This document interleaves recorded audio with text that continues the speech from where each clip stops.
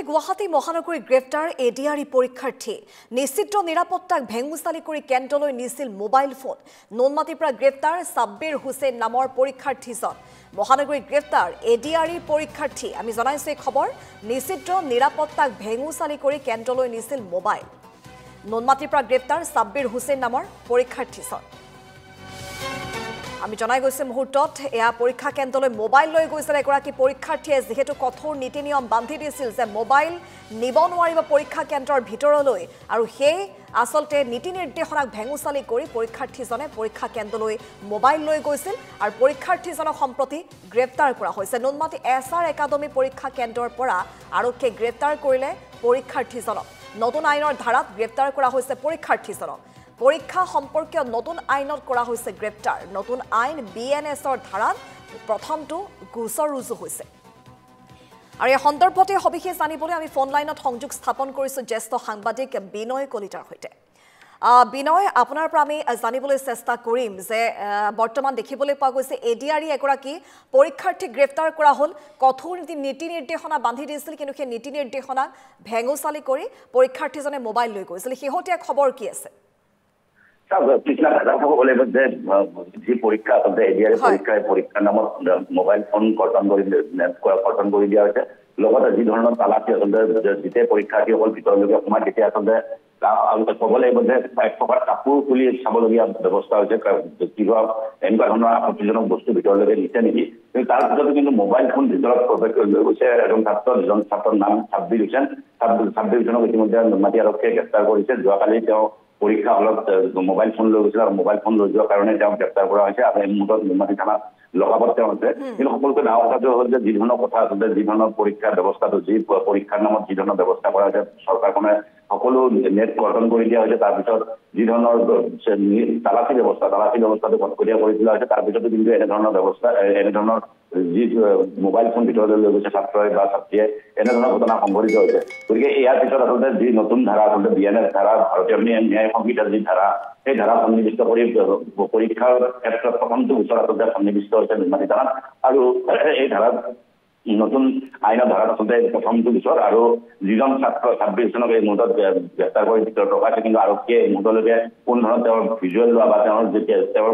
বিষয়খিনি আমাক। জানিবলৈ দিয়া নাই আৰক্ষীয়ে কিন্তু সকলোতকৈ ডাঙৰ কথাটো হ'ল যে যি ধৰণৰ কথা মই কৈ আছো যে ইমান ধৰণৰ কটকটীয়া নিৰাপত্তা ব্যৱস্থাৰ মাজত কেনেদৰে আচলতে ভিতৰলৈকে মোবাইল ফোন নিব পাৰে সেয়া সকলোতকৈ ডাঙৰ প্ৰশ্ন এই মুহূৰ্তত কৃষ্ণা কিন্তু ডাঙৰ কথাটো হৈছে বিনয় যে পৰীক্ষা কেন্দ্ৰটোত নিশ্চিত নিৰাপত্তা হয়তো আছিলে কাৰণ প্ৰতিটো পৰীক্ষা কেন্দ্ৰতে কটকটীয়াভাৱে নিৰাপত্তাৰ ব্যৱস্থা কৰিছে প্ৰশাসনে। গতিকে সেই পৰীক্ষা কেন্দ্ৰটোত নিৰাপত্তাত হয়তো ক'ৰবাত সুৰুঙা ৰৈ গৈছিল যাৰ বাবে পৰীক্ষাৰ্থীজনে মোবাইল পকেটত লৈ যাবলৈ সুযোগ পালে। বিনয় হয় নিশ্চয়কৈ আচলতে চাওক দেওবাৰৰ দিনটো আহিলে আচলতে দেওবাৰত দেওবাৰে আচলতে এনেকুৱা ধৰণৰ পৰীক্ষাবোৰ অনুষ্ঠিত কৰে কিয়নো দেওবাৰে আচলতে আৰক্ষীৰ বাবে বিশেষ কাম নাথাকে। সেই দিনটোত সেইকাৰণে আচলতে আৰক্ষীয়ে যাতে সকলোখিনি ব্যৱস্থা কৰিব পাৰে কটকটীয়া নিৰাপত্তা ব্যৱস্থা কৰি তুলিব পাৰে। তাৰ বাবে আচলতে এই চাওক ৰবিবাৰৰ দিনটো বাতিল হয় পৰীক্ষাৰ বাবে কিন্তু যি ধৰণৰ সকলো থানাত আচলতে তেওঁলোকৰ আণ্ডাৰত কিমানটা এনেকুৱা ধৰণৰ চেণ্টাৰ আছে কেন্দ্ৰ কৰে তেওঁলোকৰ সেই কেন্দ্ৰসমূহ আগদিনাই তেওঁলোকে বাছি লয় আৰু বাছি লৈ সেইমতে তেওঁলোকে আৰক্ষী লোকসকলক ভগাই দিয়ে যে অমুক থাকিব অমুক স্থানত অমুক থাকিব অমুক স্থানত এনেধৰণৰ তেওঁলোকে ভগাই দিয়ে। তাৰ পিছতো কিন্তু এই ধৰণৰ যি ব্যৱস্থা থকাৰ পিছতো নিৰাপত্তা ব্যৱস্থা কটকটীয়া কৰি তোলাৰ পিছত কিদৰে আচলতে ভিতৰলৈকে মোবাইল ফোন নিব পাৰে সেয়াহে সকলোতকৈ ডাঙৰ প্ৰশ্ন সকলোতকৈ ডাঙৰ কথাটো হ'ল যে মই পূৰ্বে কৈছো যে তালাচীৰ সময়ত আপুনি যদি চাই আজি কিছুদিন পূৰ্বে এগৰাকী যুৱতীয়ে অভিযোগ কৰিছিলে যে কাপোৰৰ ভিতৰত হাত ভৰাই আনকি কিবা আছে নেকি তেওঁলোকে চাইছিলে আৰক্ষীৰ লোকসকলে কিন্তু তাৰ পিছতো কিন্তু এনেধৰণৰ যি ঘটনা সংঘটিত হৈছে মোবাইল ফোন ভিতৰলৈ লৈ গৈছে ছাত্ৰই বা ছাত্ৰীয়ে এনেধৰণৰ ঘটনা পোহৰলৈ আহিছে যিজন ছাত্ৰ ইতিমধ্যে ছাব্বিছ জনক গ্ৰেপ্তাৰ কৰা হৈছে ছাব্বিছ জনে যিহেতু তেওঁ ভিতৰত